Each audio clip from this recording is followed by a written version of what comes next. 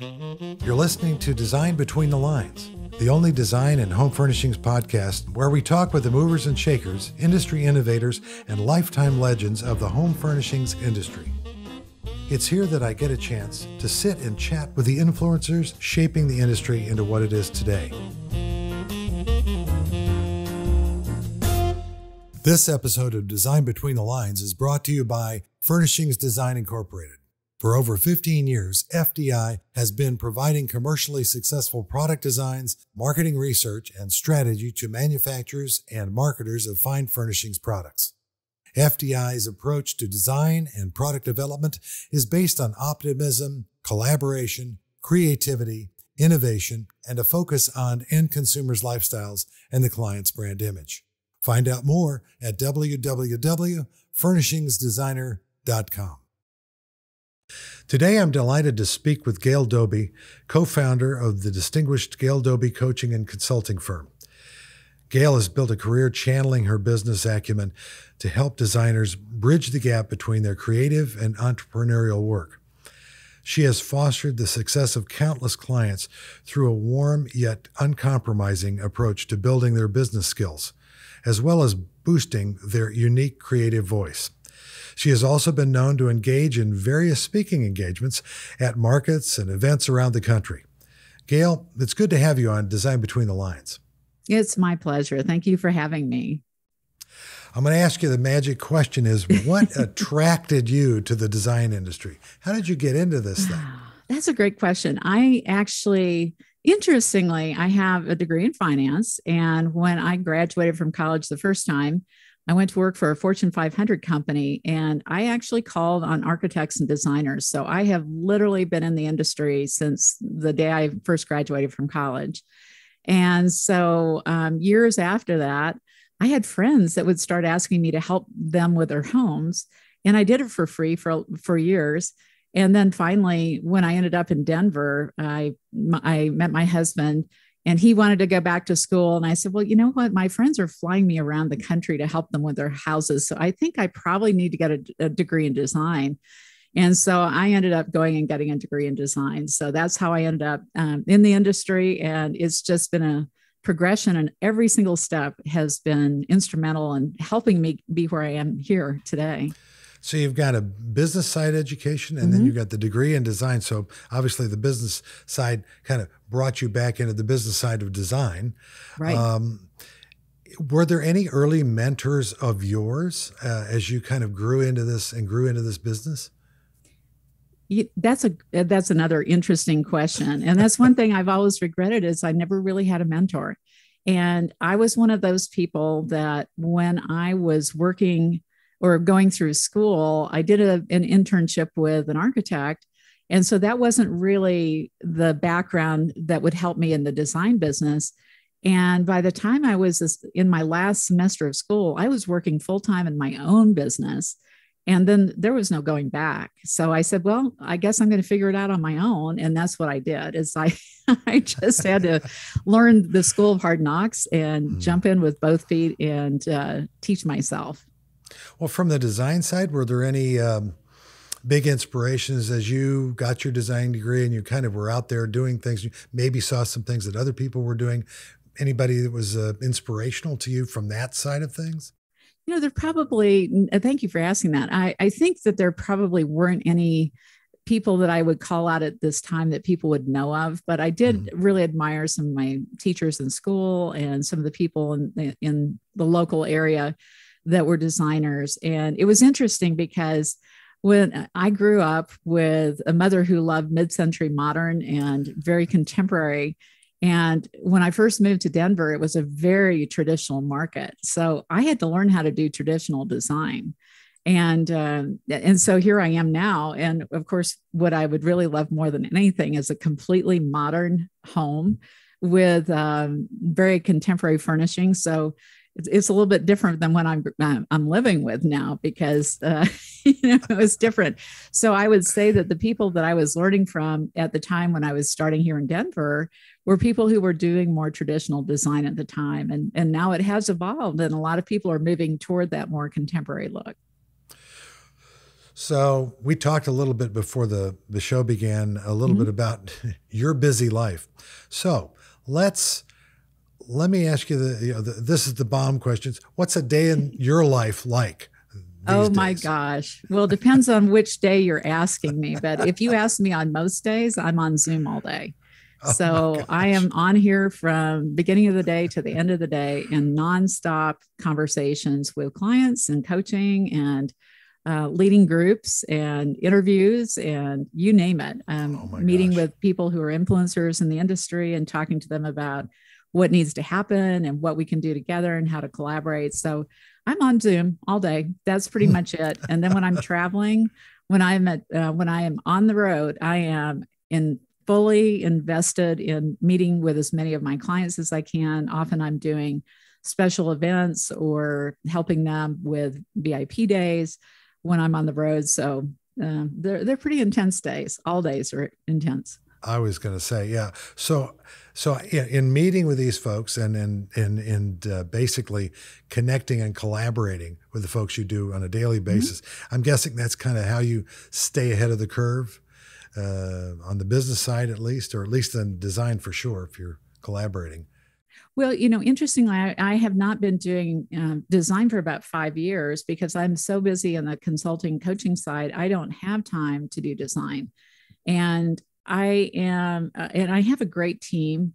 And a couple of things about the way we operate we are 100% virtual, and we have been for 12 and a half years.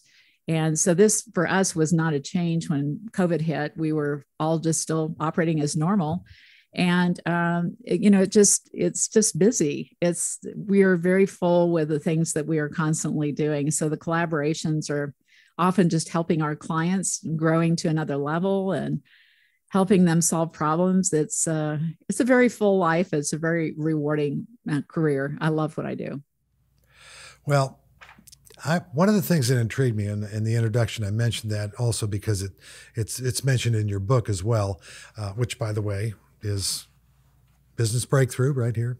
There it is. Mm-hmm. And thank, thank you for you. that wonderful copy. And um, absolutely. Uh, let's talk a little bit about boosting clients' creative voice. I mean, mm. now they, they have a creative voice. Some of them may not believe in it. Do you have that? Oh, Do you yes. have some of those moments where where you know they have one and you know they've got one, but maybe they don't, and you have to bring that out in them? Well, when people come to us, they're not coming to us to teach them design or how to be a better designer. They're teaching, we're teaching them how to be better business people.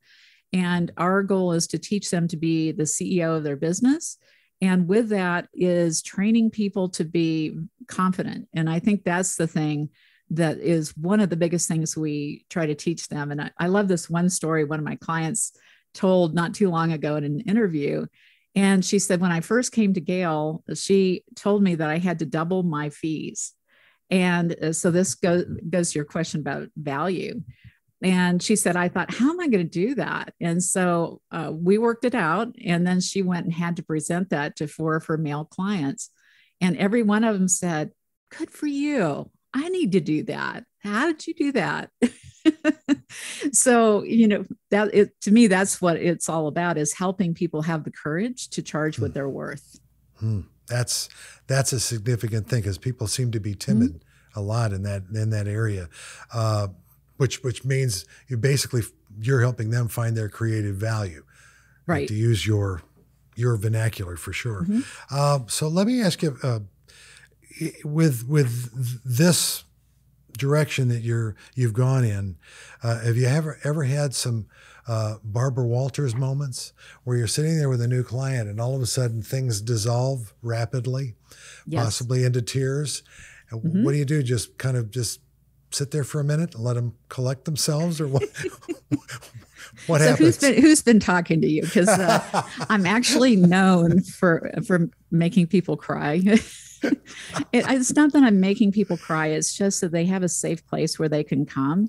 Mm-hmm. And mm-hmm. when they come to meet with us, um, it takes a lot of vulnerability to be as open as they are, talk about their finances. Um, we do some really in depth work. We create a three year financial plan for people. We look at their personal finances and we usually dig into why they haven't gotten where they want to go. Mm. And so uh, by the time that we have these conversations, um, about 50% of our clients cry in these VIP days, including men. Um, had that just happen a couple weeks back from one of the men that came in. And it, to me, that's a great sign because that means, first of all, they trust me. Number two, they are willing to face whatever their fears are so that they can fix their business. And everyone has something they need to fix or something that can be improved. And so to me, when somebody is open enough to to cry openly, it means that they are ready to learn and they are ready to break through. So I love that because to me that tells me that we have accomplished our goal.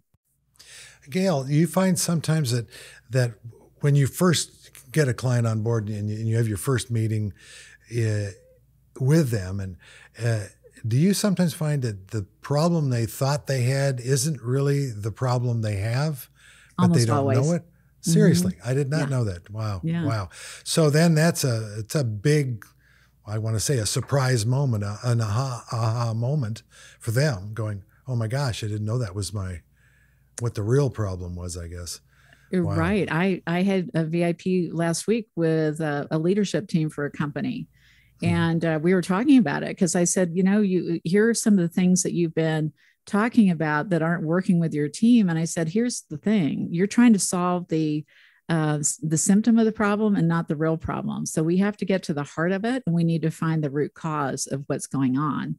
And here are the possibilities of what it could be, and you have to figure out which one you think is most appropriate that you need to fix first. But um, and so I really do a lot of deep work with people, and um, I have been known to be called the principal. I have one client that said that she uh, every time she did a VIP, and she did uh, I don't know four or five with me, and she said every time I w- went to see you, I, I always felt like I was going to the principal's office. Office. I saw that one coming. Yeah. Yeah. Yeah it, it was kind of funny but she always knew because i i am absolutely laser focused and i am direct. I don't i don't mince words. Sometimes it can be a little bit i don't ever mean to hurt people's feelings but i'd rather tell someone the truth than to sugarcoat it because if we've got something to fix i want to fix it Let me ask you another question. This pertains to maybe less for uh, individual design designer firms where it's a, a, Mhm. a person or a couple of people, but maybe more of a, a larger firm where they have a Mhm. multiple multiple folks on the team, um, and you've got maybe a leader who started that firm, Mhm. some male or female that basically created uh, this firm from scratch Mhm. and they and they uh, they're in this room with all these people and and uh, and you find a moment in there where nobody is coming forth in the group because the leader who started the firm you know is kind of thumbs down however you want to say that where they're in such Control. control Mhm. that the yeah that the nobody in the firm wants to say anything in a negative or even a constructive way because they're afraid of the i guess repercussions i mean you, is that a roadblock sometimes you run into You know, honestly, no. Um, uh, we are very careful in who we work with uh, because it's a two way street and someone choosing to work with us and us work, uh, choosing to work with them.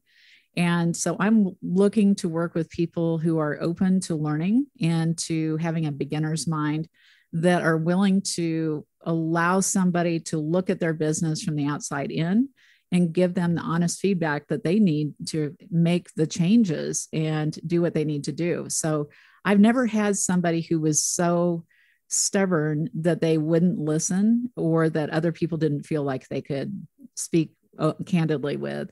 So um, we do do a lot of work with larger firms, and those larger firms typically have leadership teams, and so we'll often work with the leadership teams.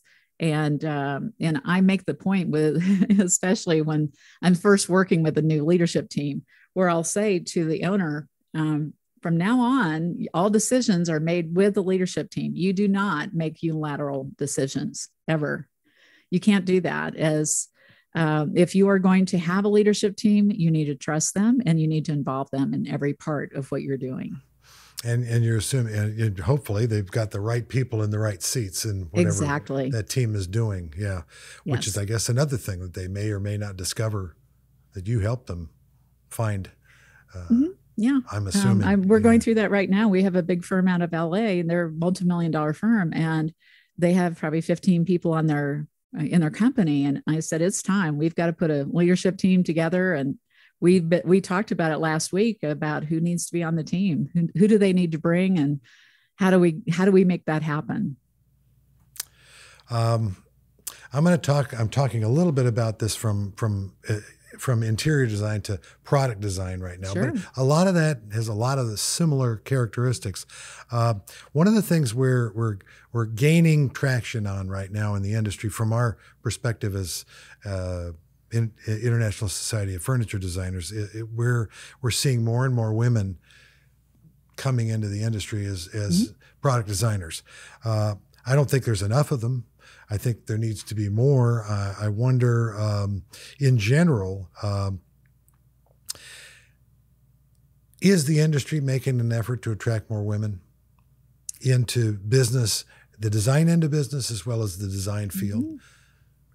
Well, interestingly, too, I think that about 85% of the industry is female owned. And um, and most firms that I know have women that are in the leadership positions. And so that's encouraging to me. And what's really interesting, and probably one of the things I focus on with people, is that I want to transform people's thinking about the fact that they're a designer, but that they are a business owner who happens to be doing design. So it's a completely different twist. And that's true whether they're furniture designers, whether they're interior designers.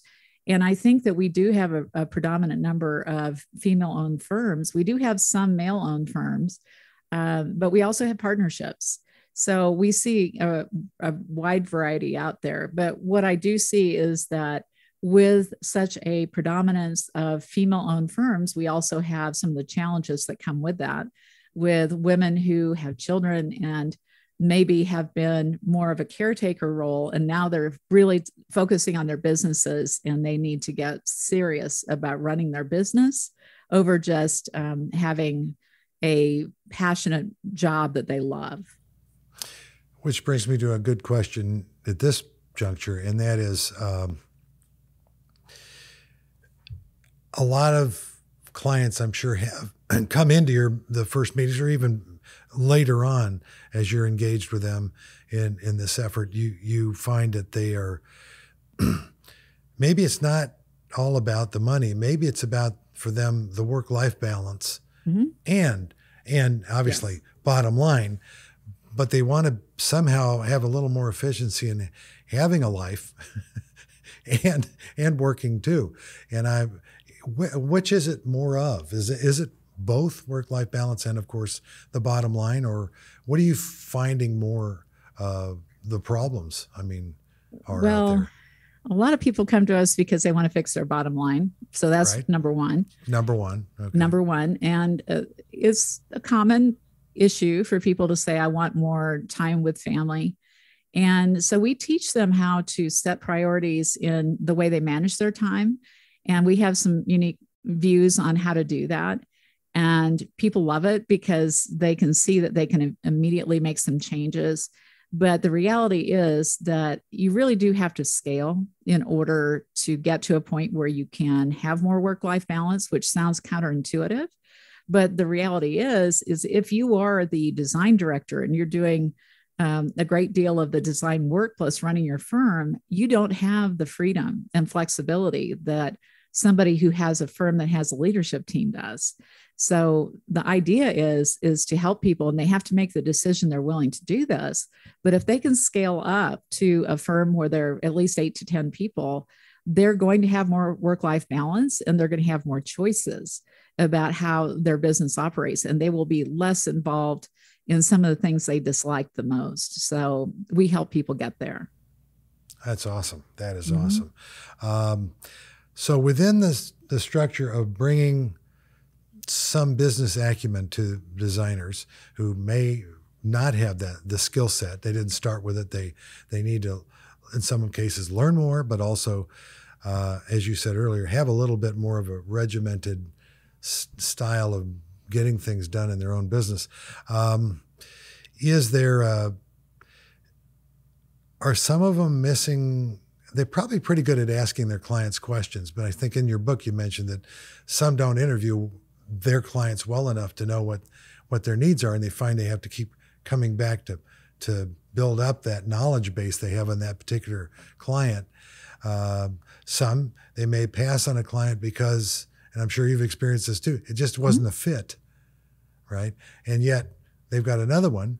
This client might uh, might recommend them to, even though they didn't have business from that client who recommended them, mm-hmm. just because they were handled in an open way. Mm-hmm. I mean, is that Absolutely. something that you you all talk about with your clients? We do, and I think it's really important to know that. Um, I, I, think about one of my clients who said, I thought there was a rule book for how you run your business. And she said, I found out when I got into the design business that was not the case. And um, and so there are some best practices, I think, and those are some things that because of being in the industry for so many years um, and having worked with so many different clients, we see things that work and things that don't. And it's really about you being a good leader in your business, and that's a leader with your clients as well as your team. And so, uh, leading your your clients is setting expectations and making sure that you fully understand what it is they want. And it is not something that is taught in design school.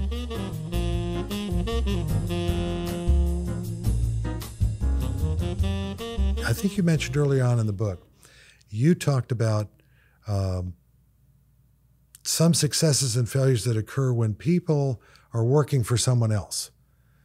Can you elaborate on that a little little bit? Uh, you know, I'm thinking there's failures. There was something mentioned about a failure when you're sometimes occur when you're working for someone else. Where does that come from? Where did that come from? Something in your experience, or? Ah, that's that's a very interesting point that you're bringing out. Um, I, I think the failures come from people not being open to learning and not being open to um, you know maybe getting feedback and those failures are the worst. And that means that, that if that person isn't open to to being getting feedback and accepting some coaching then if they're a member of the team then that is not a good sign overall. Then they're probably not going to be good leaders in their own businesses either so one thing that for people especially as they are coming out into the field so if we start there and we talk about people coming into the field um, you want to be a sponge. You want to learn everything possible, and you want to believe that that person that you're studying under has more knowledge than you do. And so just be asking every single question possible to understand where they're coming from, why they're making the decision, how they can do things differently. And then also look for ways that you can help that person solve a problem. And um, I would share this, and I teach this a lot to a lot of people is that I don't, uh, part of leadership is teaching and mentoring people. And so, one thing I teach them is do, do not allow people to bring the dead rat and drop it on your lap. And that means that if somebody comes to you with a problem, then they should come to you with three solutions as well. And they should have a pretty good idea of which one they'll pick and why.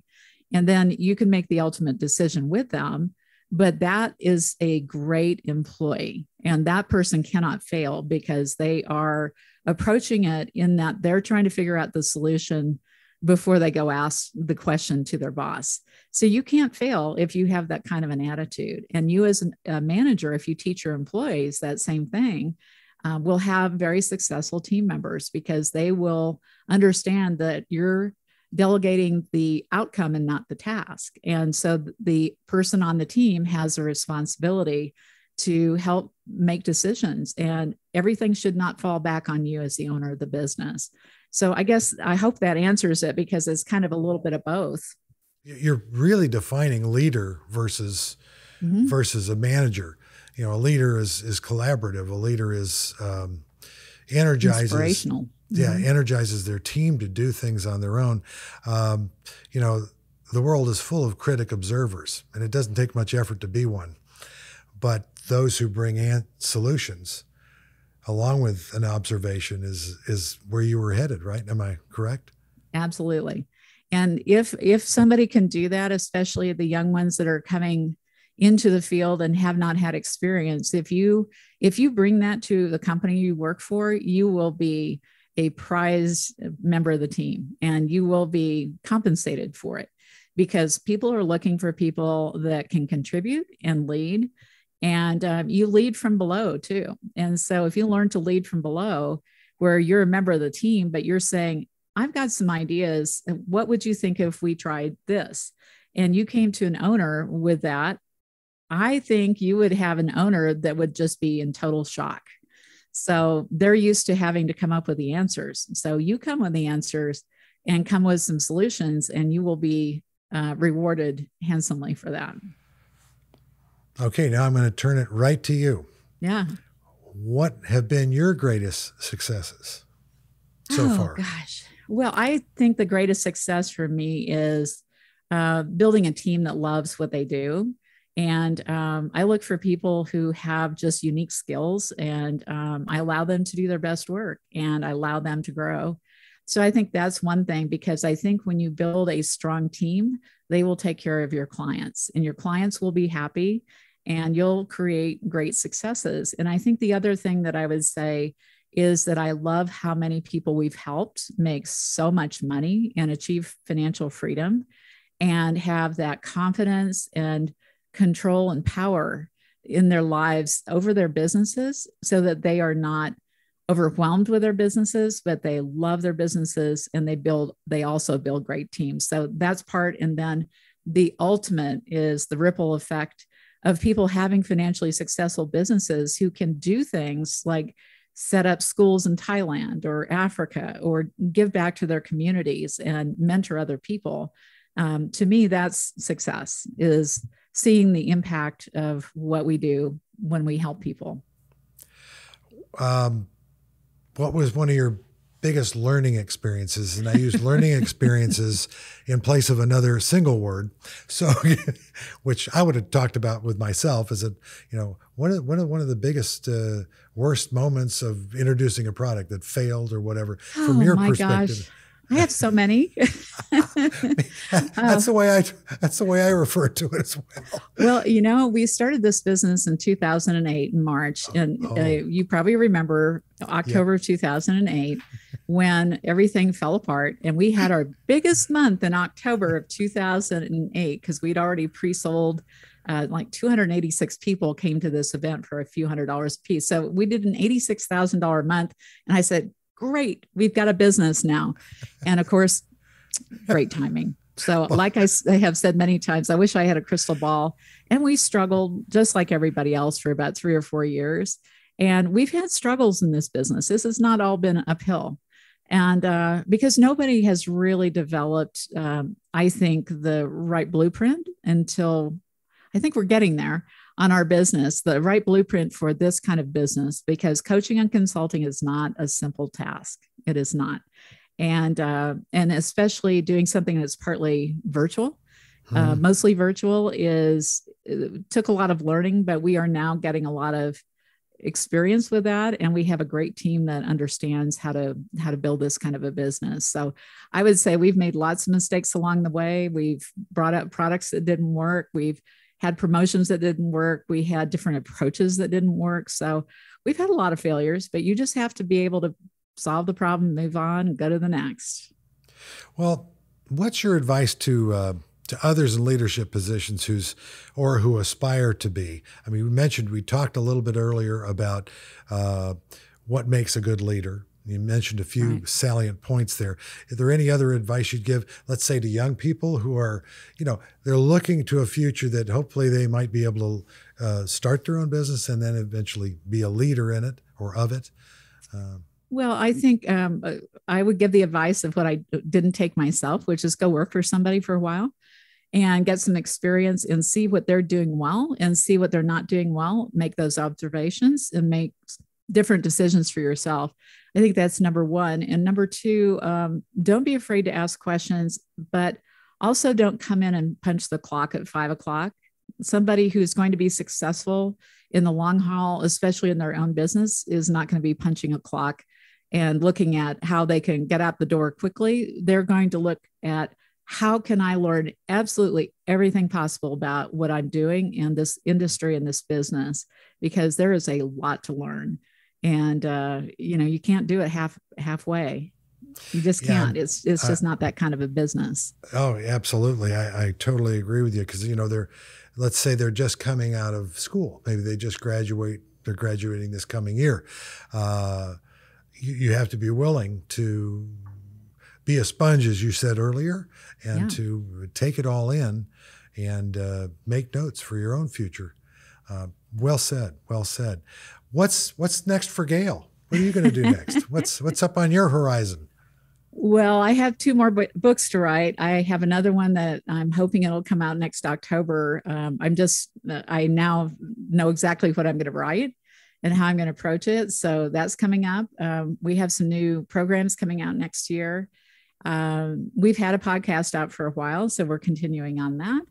And Congratulations I, on that, by the way. Thank you. We we love doing it, and I we're building our coaching team more. We've got a few new coaches coming on board, and we are building out the sales team. And I've got a management team. It's just amazing.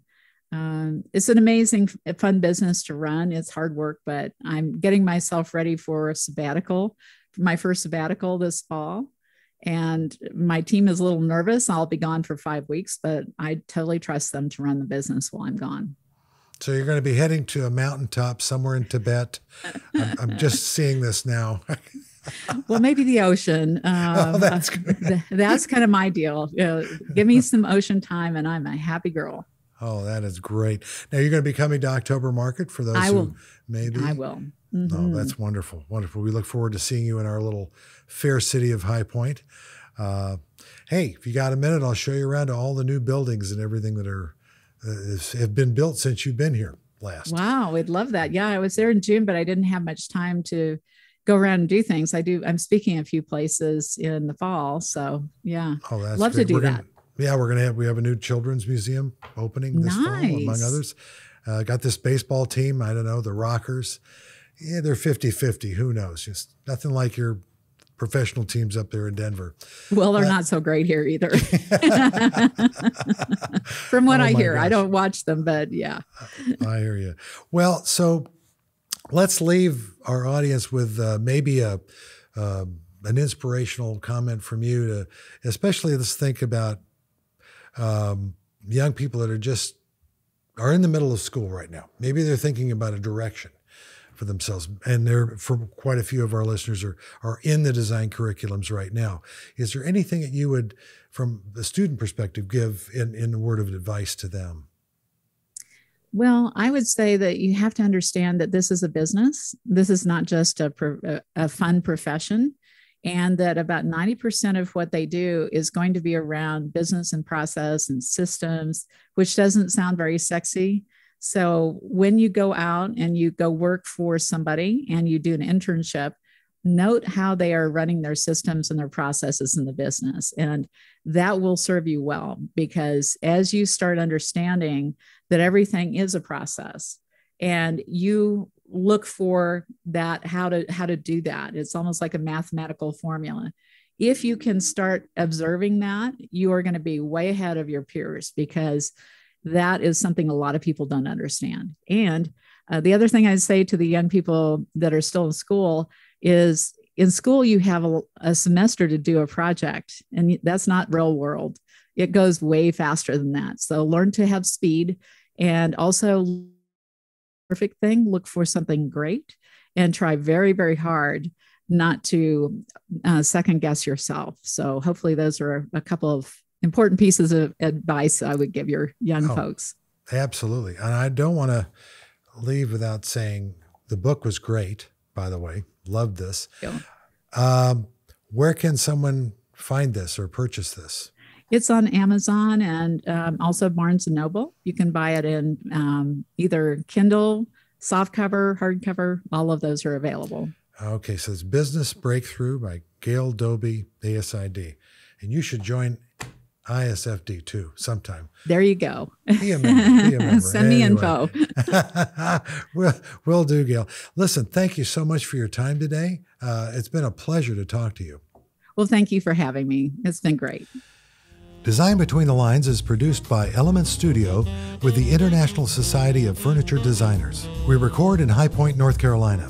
To find videos of these podcasts, be sure to subscribe to the International Society of Furniture Designers YouTube channel.